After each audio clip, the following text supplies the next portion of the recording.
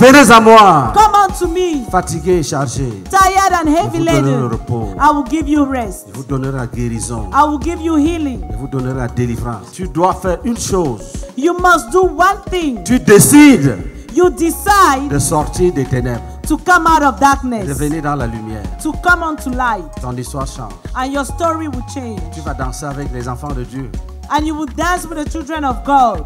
Et la grâce de Dieu sera sur toi permanemment. Mais la porte est ouverte. But the door is open. Jésus dit, Jesus je me tiens à la porte et je frappe. I'm standing at the door and I'm Si knocking. quelqu'un entend ma voix et ouvre la porte, If someone hears my voice and opens the door, j'entrerai chez lui.